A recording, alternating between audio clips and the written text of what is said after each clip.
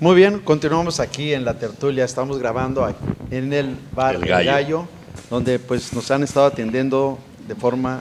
¿Te acabaste el queso, León? No la acabamos. La traías atrasada, Sí, muy- compañero. estaba delicioso, ¿eh? Por cierto, se lo Pues es que es a la... Sí, el quesito. ¿Cómo ¿qué es es? que, por qué es sabroso el queso? El- ¿Cuál es el queso más No, sabroso? no, no. El queso, el peor queso es el queso jete, el que se corta solo. ¿Ya ves? ¿Ya ves? ¿Qué te dije? Eh, no, no. Este, muy bien. Pues, este, es- vamos a. Aquí no hay nadie de esos, Tomáramos ¿no? un poquito el tema sobre lo del programa que grabamos el día de ayer en Huauchinango sobre. A esos Huauchinango programas sí acude usted con su Sí, pues, hay, ahí hay dinero, Ah, hay dinero, hay ya. presupuesto, ¿no? Eh, No, y quiero decirte que no solamente eso, Toño, sino el camarógrafo de lujo, no lo llevamos a Huauchinango. ¿A poco era del Canal 8? Llevó la- no, llevó una cámara. ¿Era del nueva. Canal 8 o ¿Era el foco chico el que, el que llegó ahí? No sé, pero. se llevó? ¿Te llevaste a Casiano? En la torre, mi general. Fíjate. serio, ¿eh? Sí. Magnífico. Pues este sí, comentando un poquito eh, sobre lo que está eh, en Huacho, lo de Lo que están haciendo allá. Iluminado. Ujú. La mera verdad, yo. ¿Cuál es el objetivo, León? A ver, cuéntanos. El objetivo ¿Por qué de esto eso? es precisamente pues hacer algo diferente. Yo creo que lo primero. Critican es- a, a eso tu es- cuate que gastó 3 millones de pesos. No gastó efectivo. 3 millones, ¿eh? ¿No ¿Se gastó No, 4? no, ¿O cuánto, menos, se, cuánto no, se menos? No sé exacto la cantidad, pero no es esa cantidad. O sea, de tres, ¿cuánto dejó? Bien, Pero este. ¿A ti cuánto te dejó sí- el negocio? ¿Nada? Porque compraron focos de medio callo, según supe, ¿no? Una iluminación chafa de Huachignahuapan viene para acá, ¿no? No, creo que decirte que fíjate que es, pues, regreso un poquito a que haya un ambiente social, yo creo que una relación de, entre las familias, las familias conviven, yo creo que eso es algo bien importante, ves muchas familias que van precisamente con los hijos, sacando enseñan- enseñándoles eh, lo que Si voy con entenados, ¿no vale? También puede ser. Sí, perfecto. Van de todos. Entonces, este, de, de la eh, eh, inauguración con un desfile que fue, la mera verdad, impresionante. A lo mejor me voy exagerado, pero haciendo yo números, de acuerdo a como yo calculo, yo creo fácil había entre 25 mil, 30 Fue el que reprobó en la aritmética en la- primaria, ¿no? Al profe, de la, de la inauguración. Además, ha habido bastante, te- ves como la gente cuando se hizo la iluminación el viernes a las 9 de la noche, la gente se oyó esa exclamación, de repente espera che- rechifla o no, no, un wow. Ay, "Ay", yo nunca puedo decir wow, no sé ni cuándo "Guau". decirlo. Como en las películas. Guau, ¿o como en las películas. ¿Ladro bien? Wow. ¿Cómo Sí. dice? No hay en español. Recorcholis. ¿Cómo se dice en español wow? Entonces, este, eso es eh, de las cosas que te llaman la atención, la gente, la gente feliz en, en En el viendo todo, lo- en todo el ambiente, todo lo que, que estuvo. Eh, además, te da gusto verlo. Es algo de algo diferente. Te llena. De hecho, no ves, eh, muchos han criticado también, también tiene sus críticas, Claro, pero claro. la gente, ¿por qué Si no se ve bendito. Santo Claus? ¿Por qué no se ve eh, los trineos? Pues Es, porque, es- pues, es un, es- tiene una idea decoración. más mexicana, se ha hecho como, se ha regionalizado, ves aves, ves flores, ves plantas, o sea, darle otro, otro sentido, ¿no? Es que nosotros tenemos un concepto Navidad aquí, ajeno. De aquí a lo que tienes en la región. Claro. Eh, y pues eso es la que la gente pues quiere ver Santo Claus, pero pues yo creo Bueno, que tú tenemos vete que... a lugares que en este momento están en pleno verano, que sería Argentina, Chile, Bolivia, Perú. No hay Santa Clauses. Hay, ot- hay la Navidad, pero allá es verano. Entonces se celebra igual de emotiva y cariñosa la gente, pero de otra manera, con otra simbología que no nos han vendido. Y no tengo nada contra Santa Claus, ni siquiera es gringo el Santa No, Claus. no, yo Es- creo que es, este, eh, ahora italiano, ¿no? se, se trató de que a los Regular de Bari, de, ¿no? de Alemania. Se Santa trató de que los es- comercios también, pues si tienen esas también. figuras, las pusieran, ¿no? Pero tratar de, de darle ese sentido. Se trajo un trenecito, bueno, para el día del desfile había dos trenecitos, ¿sí? Ah, bueno, usted se refiere al santo, San Nicolás de Bari. San sí, Nicolás, claro, sí. que era italiano. Es el italiano. De ahí da Santa Claus viene de ahí, ¿no? Sí, ahí viene. Y ahí viene de Eh, Italia, San. Nicolás se San- llama. San Santa Nicolás. Claus no es el de hecho, en algún lugar en. Estados Unidos se le dice mucho, le- muchos le dicen San Nicolás, ¿no? Todavía. Santa Claus. ¿O dónde, dónde Santa le dicen? Claus. Es San Nicolás es en Europa. En Europa. Bueno, muy bien. Y este, hay un trenecito de dos, del el vagón con un cabús. Y es impresionante cómo se llena, ¿eh? De gente, ¿Cobran? Se cobra, se cobra. ¿Y va de dónde? ¿De la De- Betancura? del- de- Le- no, no, la- nada más, este, arranca de ahí de frente a al parque, frente a la Ajá. presidencia, y da la vuelta, se va toda la calle Hidalgo hasta llegar a la Betancourt, sube y da la vuelta para Es un buen recorrido. Un buen recorrido. Por Lo 50 hace lente pesos, la ¿eh? gente, por ejemplo, ahorita que está lloviendo, pues va lleno porque la gente eh, pues no se Aprovecha mojar llegar a su casa ahí. ¿o Pero aunque, aunque ¿Y no, no, van a dejar de planta todo el tren ese ya para No, siempre? no, ahorita durante toda la temporada, nada más hasta el 7 de enero que va a durar Ya los todo taxistas esto. iban a amparar, ¿eh? Por una competencia desleal y toda la Del cosa. ¿eh? ¿verdad? No, fíjate que a los taxistas les ha ido muy bien, ¿eh? ¿Sí? También. ¿Sabe Creo quién que está operando el tren? Los chinos. No la mueles, ¿sí? Sí, pues son los que se quedaron. Ese se quedaron con el contrato, es un ensayo general del tren rápido, del, ¿no? del Toluca Sí, Querétaro. México, Querétaro. Que igual se inaugura Huachinango, México, y ni la gaviota se entera, ¿eh? Órale, güey, síguele, vas bien, profe. Muy bien, yo creo que yo lo que quiero comentar de esto también, una de las cosas interesantes es que los comerciantes les ha ido bien. el, este, Hay que esperar los- a dinero, ¿no? A ver cómo llega todo. O sea, la- los, los hoteles, los restaurantes, eh, todos la- los hamburgueseros, Todo los de dinero. las enchiladas, los Que de es las muy cosas. tradicional la comida ¿Sabes mexicana, qué? Eso es, eh, lo- o sea, para mí lo que vale la pena es ver cómo toda la gente pues le ha ido Está bien. participando. Sí, es una temporada en que pues normalmente nos de quejamos, nos quejamos de que la situación económica está mal, pues entonces a la gente se le ha traído, como cuando fue lo del canotaje, también a la gente todos los eh, hoteles, todos funcionó. los, este, funcionó, los restaurantes, y ahorita se está notando, eh, pasas por las tiendas de abarrotes y llenas, las palomitas, lo- Hay movimiento, hay hay movimiento. y eso creo que es Bueno. una de las cosas buenas. Pues sí. que- Mire, usted ya sabe cómo pienso. Yo, cualquier cosa que tenga que ver con intervención gubernamental, para bien o para mal, No, la, en la economía- rechazamos. nomás no me cuadra. Ahora, si le están metiendo dinero en Huachinango para tratar de animar el comercio Ambientar y el funciona, asunto, qué Hay bueno. que apoyarlo. Usualmente no me cuadra que se metan ni para bien ni para mal en la economía. La economía no debe ser, debe ser autónoma. El ¿no? gobierno no está para eso. No es su función crear empleo ni incentivar el comercio. Nada más le da Eh, seguridad y, y Sí. garantías. No está en sus facultades tampoco ejecutivas de los presidentes municipales hacer eso. Ni de los diputados andar Así es. regalando cosas, ni mucho menos andar dando informes. Es una Entonces, aberración absoluta hacer todo eso. eh, Qué bueno que está funcionando en Huachinango. Yo vi el programa ayer, me llamó la atención. Me, me dijeron varias personas que el comercio estaba muy animado en Huachinango, cosa que celebro, porque aquí en Villajuárez estamos para llorar. Durará un mes ese. Hasta el no, 7 de enero. el 7, y creemos a- que, y sabes qué es lo sorprendente de Jicotepec, no sé, ha habido mucha gente por allá, bastante, pero sabes que ya tuvimos, sobre todo el domingo, se notó el sábado, personas que ya vinieron, muchas de Zacatlán y de. Tulancingo. Mucha gente se vio. Se va corriendo la voz. Porque se está haciendo, tenemos varias personas o hay varias personas que están haciendo, este, entrevistando a la gente, haciendo, reporteando y llevando estadísticas. Mire, este, ya le digo, para bien o para mal, si funciona, pues habrá que apoyarlo porque es un incentivo para que vuelva el ánimo en la gente, en la economía Sí, de Huachinango, sí, sí. que siempre fue muy comercial y que ahora estaba un poco de capa caída. Qué bueno que Y funcione. no solo eso, además la gente de Huachinango, ¿sabes qué es de las cosas que te llaman la atención?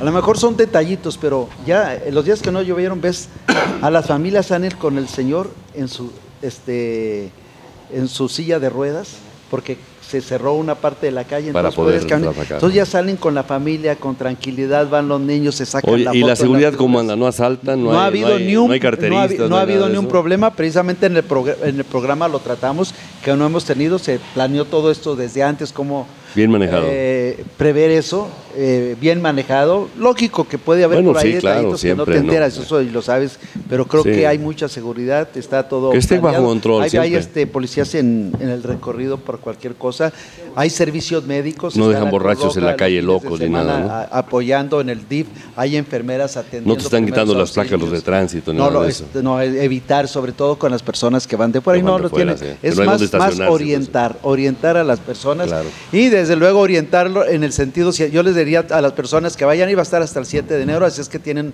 oportunidad de ir esos coches sí déjenlos a la entrada o por donde puedan, porque adentro. Un lugar seguro, si da seguridad, Como lo dejas donde sea, Algunos ¿no? se quejaban en el tráfico, pues donde quiera que hay este tipo de eventos Sí. va a haber ese problema. vas no a lo puedes evitar. vas a caminar. No lo, vas, no lo puedes evitar. Además, la idea es Vas a caminar de Betancur hasta la iglesia, ¿no? Sí, de la, de la iglesia. Y además ir con dinero suelto para ir comprando chucherías y comprando y probando de todo, ¿no?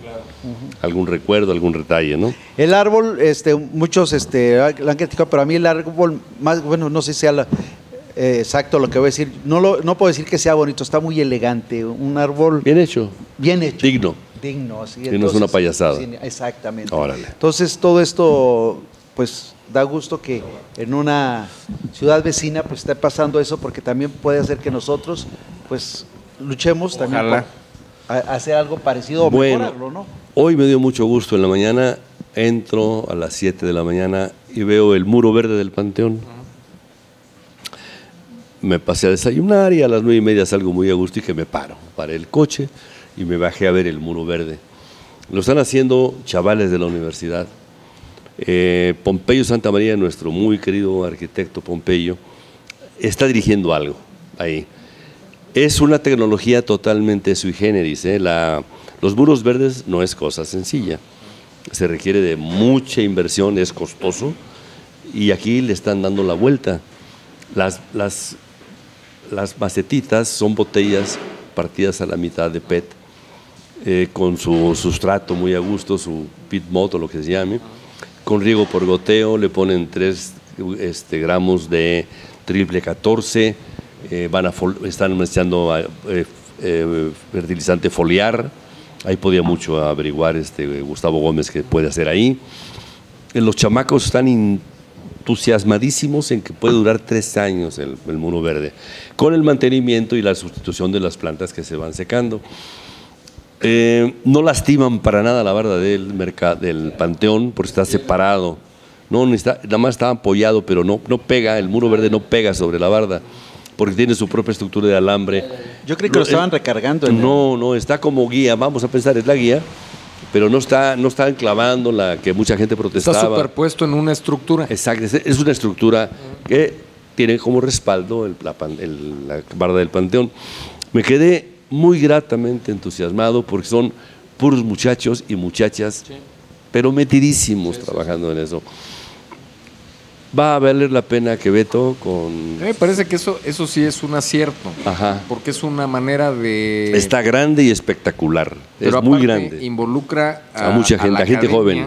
Exacto. En, en cosas Prácticas. que sirven para de utilidad pública. y para presumirlas. Exactamente. Y son de ejemplo porque de ahí una persona que quiera hacer algo, pues tomas la idea, porque los muros verdes están de moda en el mundo entero, Sí.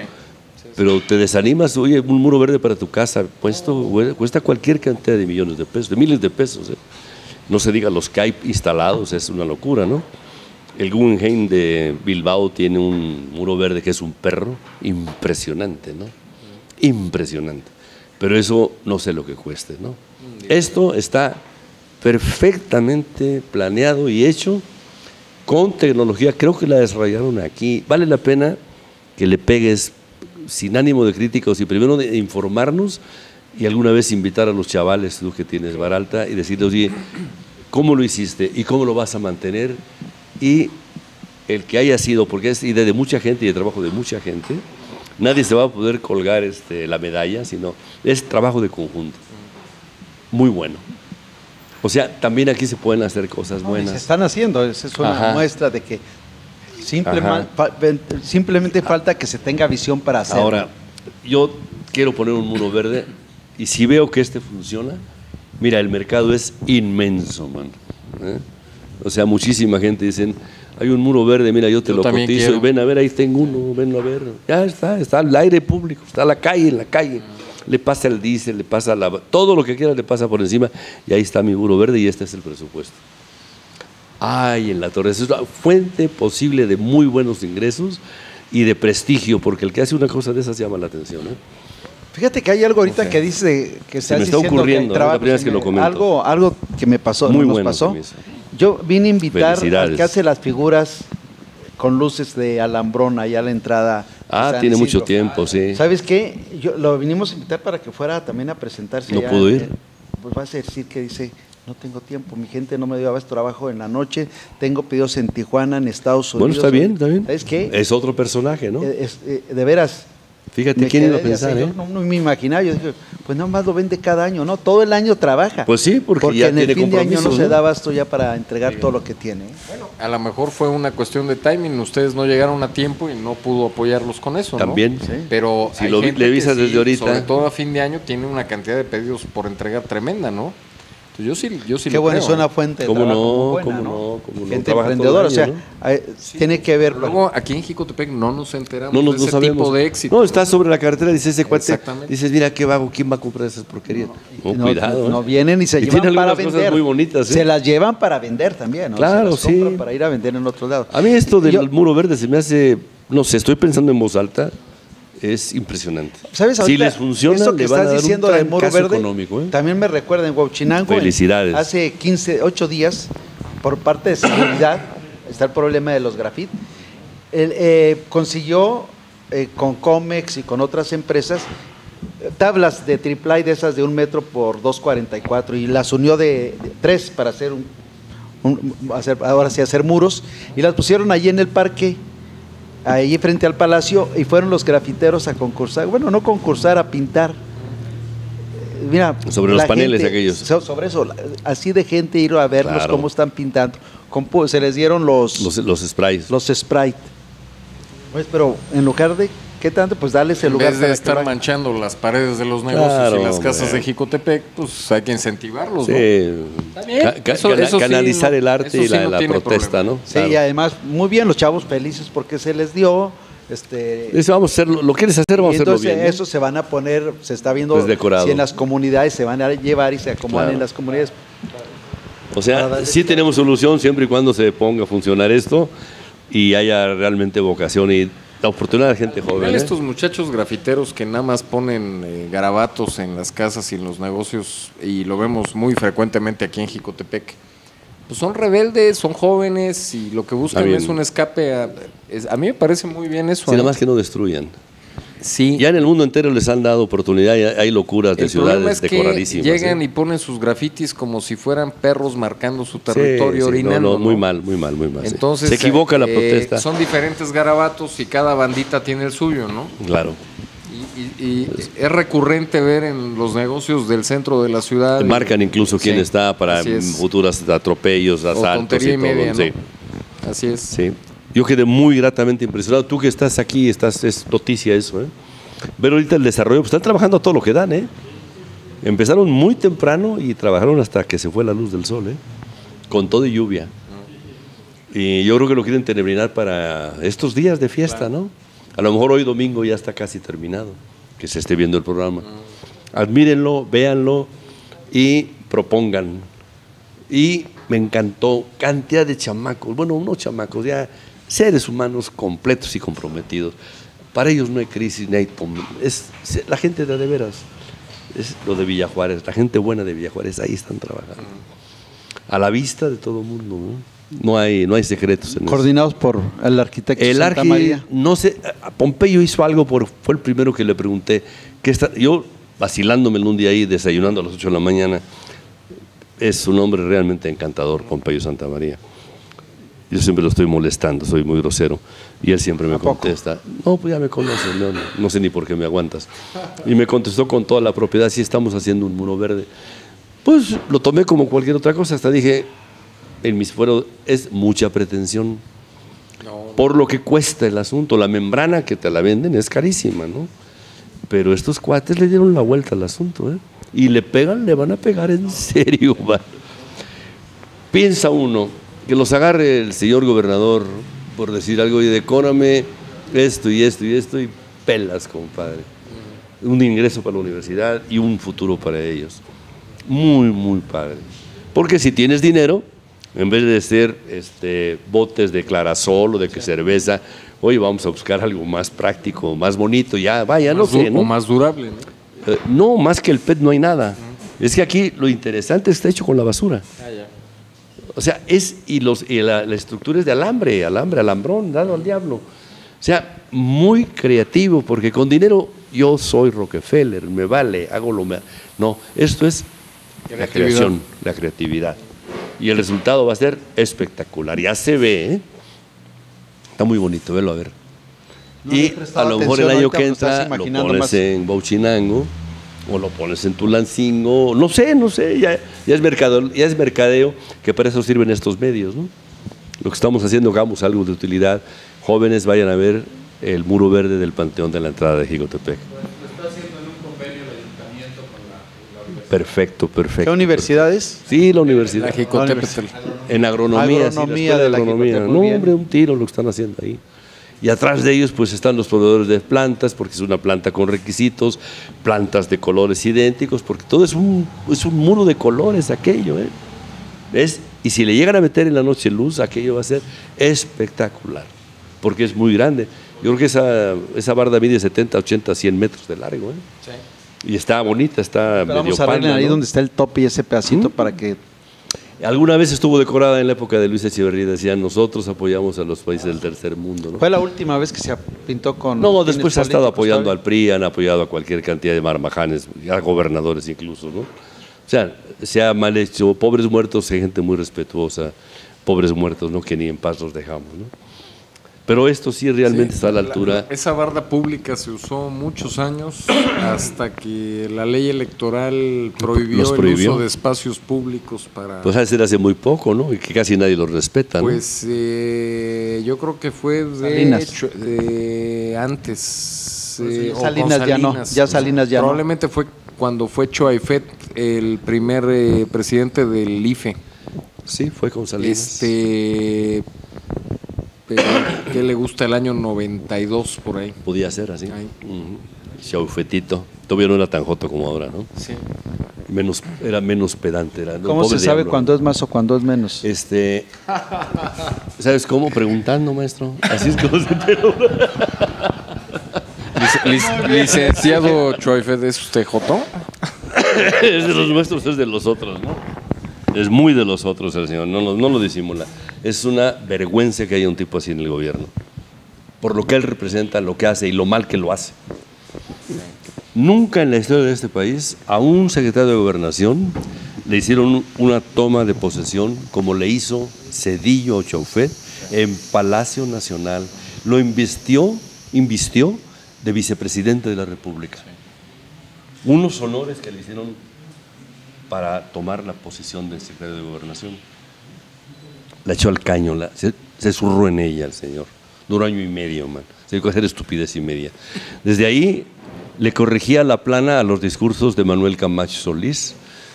Había una discusión política de profundidad, entre comillas, y Camacho Solís, que no es ningún imbécil, que está muy enfermo, por cierto, está de salida ya, eh, mandó un escrito, es un hombre del Colegio de México, a mí me cae en la punta del... Pero talento tiene. Escribe bien, habla bien y razona muy bien, con mucha estrategia, ¿no? Tal vez mejor que Salinas. Y Yo le creo que era el cerebro. Era el No, cerebro. se, no se entiende a Salinas Exacto, sin, este sin- señor. Y hace una polémica con este señor, entonces el señor investido como secretario de gobernación se levanta y empieza a corregir ortográfica y gramaticalmente y de sintaxis al escrito de- del señor. Todo el mundo se quedó y este señor, ¿qué le pasa? Estamos hablando de cosas de interés de la República. Y este estúpido está corrigiendo la ortografía del discurso del vecino. Ahí empezó, man. Y luego le vino lo de mm, las aguas blancas. Se le vinieron un montón de... Lo de Acteal encima, una serie de estupideces y lo tuvieron que correr. Después de ser el hombre, nunca había habido una investidura. Porque le dieron una investidura, Ni la ha habido. No la ha vuelto a ver, porque incluso no está ni previsto en la ley. El secretario lo contratas como el que contrata, cuídame el Es coche un y ya, empleado ¿no? público. Es el secret- son secretarios del, de- encargados del despacho, así se llaman. Que no son, aquí les dicen muy estúpidamente, ministre- el señor ministro, no es cierto. Ministerio es cuando hay un sistema parlamentario. Como aquí hay un error gravísimo decirle al presidente municipal, el edil no es cierto. Y se, se prenden los periodistas locales, nuestros cuates, el edil dijo y el edil dijo, no, el edil no dijo nada. El presidente municipal es presidente municipal, ni siquiera alcalde, presidente municipal, no tiene otro título. Los ediles son otras cosas. Y tú lo dices a cada rato, ¿no? El No, edil, nunca, he hecho, nunca he dicho edil. pero lo has oído. Sí lo he oído. Como los que en vez de decir tampoco. agua le dicen líquido vital. ¿Sabes qué Y lo puso también de se usa moda? mucho lo de alcalde. Salinas de Gortari. El líquido vital. El líquido vital. En vez de decirle, es agua, señor. El líquido vital. Y no lo hemos podido quitar de encima. ¿eh? Como ahora cualquier imbécil, no me importa el rango ni lo que digan, tienen, se sienten obligados a decir los y las. Ah, sí. Los y las. Los y las. Ya, ya en, en- en algunos programas hemos hablado de la tontería. Fox es el que lo inició, de- ¿no? Pero Fox podía equidad. hacer lo que le diera la gana. No, ya, pero, pero- ahora, ¿por qué imitarlo los que tanto lo En defenestraron? alguna al ocasión señor, no? hablamos en, en un programa sobre las tonterías que se han hecho y las barbaridades que se dicen sobre, sobre la equidad de género con Sí. el idioma, ¿no? Sí, sí, es sí. una verdadera estupidez. Sí, sí, sí. Pero ahora De acuerdo. No hay mexicanos de mexicanas, hay mexicanos. Mexicanos. Nada más. es una cuestión del idioma, no es una No, cuestión de género. De género, no. Ni no, ni las, ¿no? Y para mí un negro es un negro. Eh, Sí. Le puede usted decir si quiere afroamericano. Sí. Pero la realidad es que... Son niggers, nig- negros, sí, No, ya volaron. a ver, no es una cuestión de racismo, es una cuestión idiomática. Como la enorme Pero estupidez. se toma siempre por racista, ¿no? somos este, hipócritas y, sofistic- y, este, y siempre sesgados. Una persona que le falla una pata es cojo, rengo, manco, tuerto, ciego, mocho.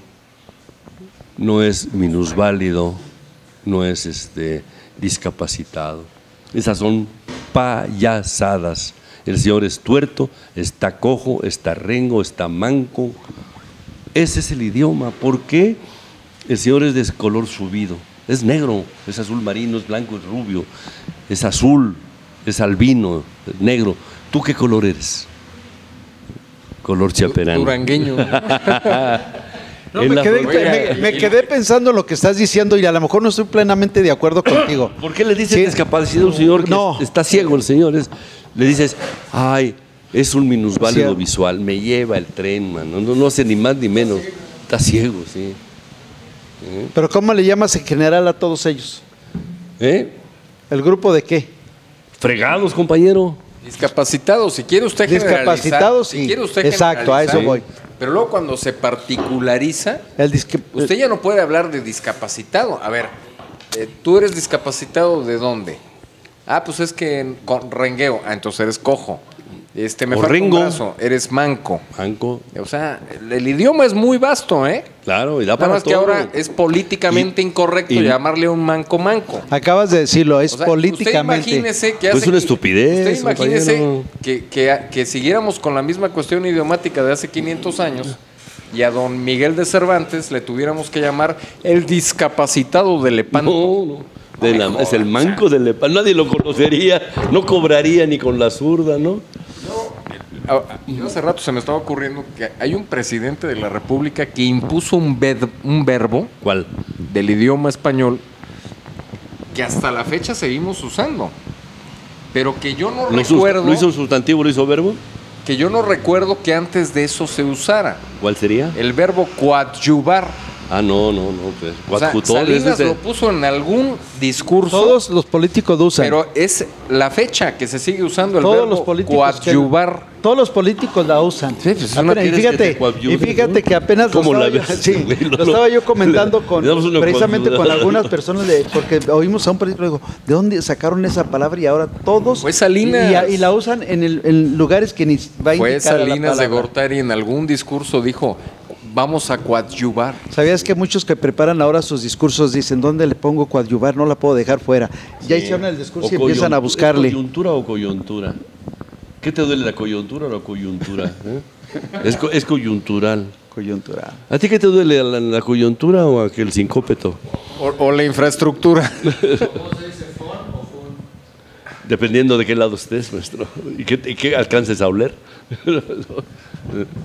No, está cañón el asunto. No, estamos mal, ¿eh? Pues imagínese al discapacitado de Lepanto.